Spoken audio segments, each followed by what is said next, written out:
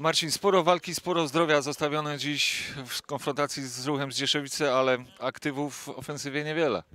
No ciężko mi tak powiedzieć teraz na gorąco, co, co było, jaki był czynnik tego, że po prostu nie stwarzaliśmy jakichś dobrych sytuacji. No.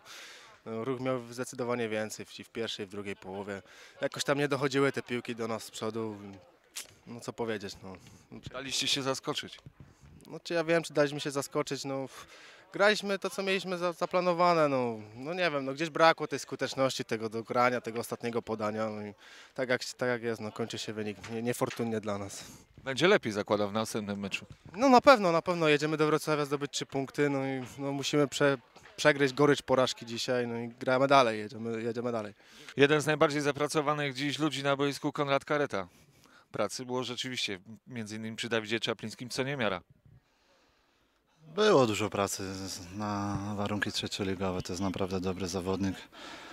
Myślę, że jakiś poza bramką, którą naprawdę świetnie zrobił, chociaż my popełniliśmy bardzo duży błąd, za łatwo daliśmy mu wjechać w pole karne. Tu nie zrobił jakichś klarownych sytuacji kolegom. Myślę, że każda drużyna ma dużo pracy z tym zawodnikiem. Natomiast jeden fakt statystyczny trzeba, trzeba odnotować, drugą z rzędu porażkę na własnych śmieciach.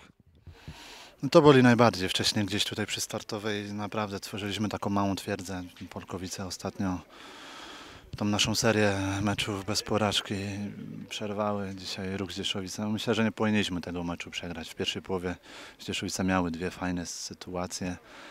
My mieliśmy dzisiaj z tym duży problem, żeby taką stworzyć. Też w obronie gdzieś nie byliśmy tacy do końca szczelni, agresywni. Myślę, że zabrakło na tą chwilę ciężko powiedzieć czego, ale No i w drugiej części, no i w drugiej części to też musimy zauważyć, podkreślić, było bardzo nerwowo.